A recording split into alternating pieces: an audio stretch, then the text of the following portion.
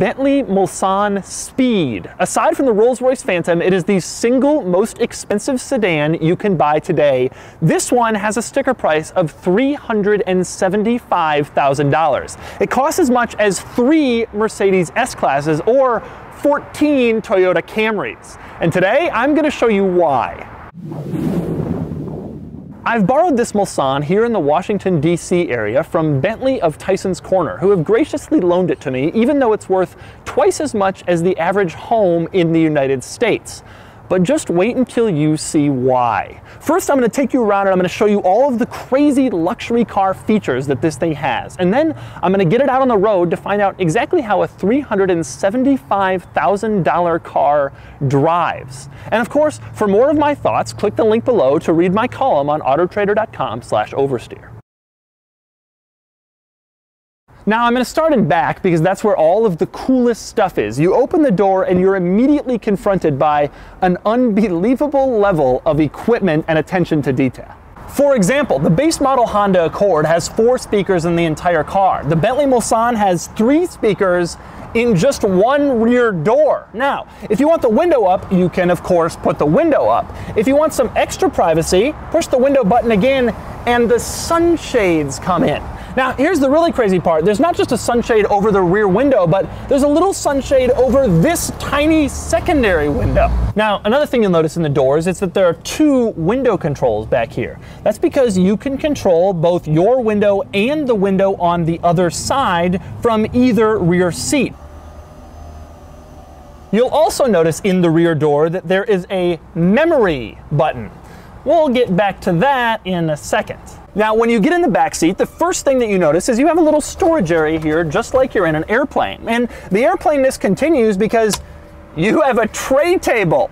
Bentley calls it a picnic table. But this isn't some coach airline flight. This is first class. I know that because I push this little button and a screen rises from the back of the front seat. Now there's no screen in there because this car comes with a tablet that you attach to this. But when the screen is not present, you see the Bentley logo emblazoned in the plastic. When I'm done with my movie and my picnic, I put away my screen and my tray table and I start to notice the other unbelievable features in back. For example, the rear center control. There are three different locations for air to blast on to backseat passengers. Your head, your middle section, and your feet, just like as if you were sitting in the front. And with the rear controls, you can control exactly where the air comes from. Of course, you can also control your own temperature, and because this car has quad zone climate control, the person sitting on the other side can control their temperature too. And it's not just the climate control you can affect, you can also move the seats. Now in your car, you might be able to slide the rear seat forward a little bit. In this car, I press a button and the entire rear seat moves. I can also press a button to control my lumbar support and a button to control the backrest. Now, the craziest thing about the backrest is it isn't just the headrest that moves. In fact, the entire rear part of the seat moves forward and it can go all the way up in case I want to read something or type something while I'm driving. Although, if I want to take a nap, I put it right back and Hmm, that feels so nice. Of course, what would a rear seat in a car like this be if it didn't have a massaging function? This has that too. I've now pressed it. Hmm. To complete my rear seat experience, I reach up to the ceiling, push a button, and then the rear sunshade closes. So now I'm sitting in a sun-shaded massage cocoon as I drive down the road. But this rear seat is for plebeians. This is the rear seat where you really want to be because I push a little button and I can control the front passenger seat. I want more legroom? Suddenly the front passenger is getting robbed of his legroom. If I want more room for my knees, I can push a different button and then the backrest goes forward, and now I can lie down all at the expense of the front passenger. But who really cares about him anyway? So the rear seat is an incredible place to be, but those are all of its obvious features. You get into the little details and you start to understand why this car is truly so expensive. For example, this little light, there's no switch or button you push, you just run your hand over it and it's on. You want to turn off? You run your hand over it again. It's Incredible. Another great detail, you want to hang up your coat. There's a little hanger here, of course, wrapped in leather, but there's also a dedicated coat hanger up here finished in beautiful brushed silver. Speaking of things wrapped in leather and incredible attention to detail, you see this leather perforated pouch behind me?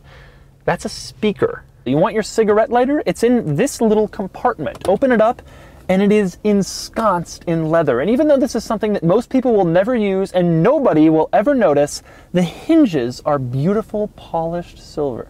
So you're sitting in the back enjoying a nice picnic and watching a movie on your screen and you decide you want a beverage. You can do that. Just open up the little cup holder storage area and you'll find that the cup holders are movable. You can set it on your picnic table or if you don't want them in front of you, there's a little hook.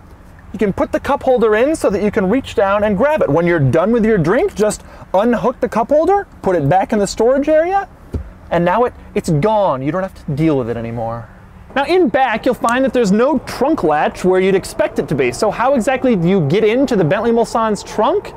That's right, you push the winged bee. Has there ever been anything this opulent in history? The Mulsanne's trunk is exactly as big as you'd expect given a car its size, but the trunk has a few quirks of its own. For example, the ceiling of the trunk lid is carpeted. Of course, the trunk itself is also carpeted. My favorite part is the floor is carpeted. Lift that up to reveal more carpeting. In other words, the trunk has carpeting to protect your carpeting.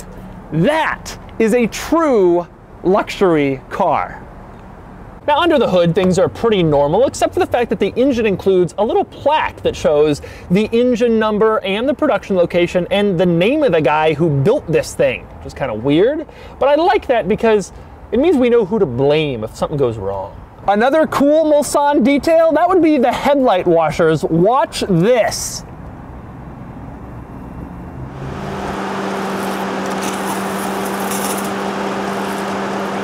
Now, you get in the front seat of this car and you immediately notice the same insane level of features and equipment as you have in the back, starting with the soft closed doors. Don't close your door all the way? That's okay. Bentley will do it for you. Now in the front seat, most of the Mulsanne's crazy, interesting features and quirks are found in its infotainment system. Here's one cool feature, like all cars, this one has a camera system with multiple angles. There's straight back, here's rear sides, that's no big deal. The cool thing is, this one also has a camera that looks side to side in the front. The hood of this car is so long that if you're coming up to make a right turn on red, you can't necessarily see what's coming. So you push that button and the camera looks to the side for you so that you can tell.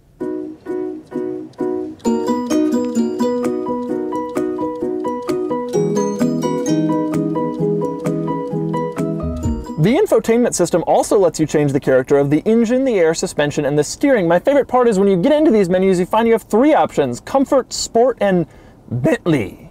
Another option you have in the infotainment system under lighting and visibility, you can set the car's mood lighting. Under the heating and climate tab, you'll find a lot of different options, including footwell temperature. Click it and you can set the temperature of the footwell, apparently. Now within the Bentley Assist Systems menu, you have a bunch of different options, but my personal favorite is the one that lets you set the brightness on the blind spot assist system. You can choose to have it brighter or less bright. You can't do that in any other car. Here's another interesting feature. In the servicing and checks section of the infotainment system, you can actually place the wipers in the service position. But beyond the infotainment system, there are also a few weird features and quirks here and there. For example, the window switches. In a normal car, you can lock the windows so your passengers can't roll them down. In this car, you can lock individual windows that you're choosing. If one rear passenger is being annoying and the other one is being fine, you can just lock out the annoying one from rolling down his or her window. The air vents, there's no little slider you move over to an X. In a Bentley, if you want air to stop coming out, you just push the vents closed this little compartment in the middle, only just large enough for your phone, finished in leather. So your phone has a luxurious area to hang out in while you're driving. If you find that your seatbelt height is a little too low or a little too high, there's no fumbling with some stupid plastic latch. Just push a button located down here, and the seatbelt will automatically raise or lower at your whim. Another cool Mulsanne feature, you can raise the ride height using the suspension system. I'm not sure why, although the internet says Bentley did this for rough roads in the Indian market, but the crazy thing is just how high it raises. I don't know the exact figure, but I've measured it here, and I think it's about seven, seven and a half inches. That's more ground clearance than a Toyota RAV4. So this car has a lot of amazing luxury features, but it doesn't stop there. The base price on this car is $335,000, but this one is $375,000, which means it has $40,000 in options. Now, I have the window sticker pulled up here on my phone, and some of these options include the comfort specification. Now, the window sticker doesn't say what this is, but it does announce that it costs $4,860. Those interior picnic tables for the rear seats, yeah, those are 2700 bucks. And those little interior tablets are part of the Bentley Theater package, which is $11,335. I once bought a used BMW M3 for less than the cost of a couple of Bentley interior tablets. And then there's the color. You might think this car is white, but you are sadly mistaken. This is glacier white, and it's one of 13 colors in the whites and yellows section of Bentley's website. Other whites include white satin, white sand, old English white, glacier white, and Arctica. You think that's funny? There are 16 silvers. One of them is called Moonbeam. So we know the Mulsanne is a crazy luxury car with crazy luxury car features and crazy luxury car pricing, but what about under here? Well, this is a Mulsanne Speed, which is apparently a trim level. It uses a twin turbocharged V8 that makes 530 horsepower and 810 pound-feet of torque. The result is 0 to 60 in around 5 seconds, even though this thing weighs 6 thousand pounds. Think about that. Zero to 60 in five seconds in a vehicle that weighs as much as a Chevy Tahoe plus a zebra. Okay, we're driving the Bentley Mulsanne. Steering is actually very nicely weighted. Very impressive. I thought it would be like super light and, and comfortable and all that. No, it like feel it's heavy. We're gonna drop the hammer here. Here we go. I can't believe this thing weighs 6,000 pounds. That is crazy. So as I sit here at the stoplight, I realize I'm behind a Ford pickup Lexus. It is an X5. There's seven cars around us. We're probably more expensive than every single one of those cars put together. One of the things you notice the moment you get in is how incredibly long the hood is. And you see to the end of the hood, you see this giant Bentley hood ornament. I already feel better than everybody else on the road, even though this isn't my car and I've only been driving it for four minutes.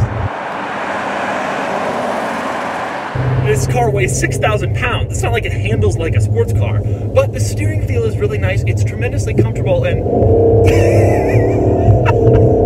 I cannot believe the 6,000 pound car accelerates that fast. I don't think I've ever been so surprised by a car's acceleration. The funny thing is, I looked it up beforehand how fast it was, so I knew it was going to be this fast, and yet I'm still completely blown away by how fast it is. It takes a corner pretty well. There's less body roll than I was expecting. One of the other amazing things in this car is the red line is 4,500 RPM, and the tach only goes up to 5,000 RPM, like a diesel car the engine is just never really working all that hard. This car is just unbelievably serene. You can hear nothing at a stoplight. Nothing.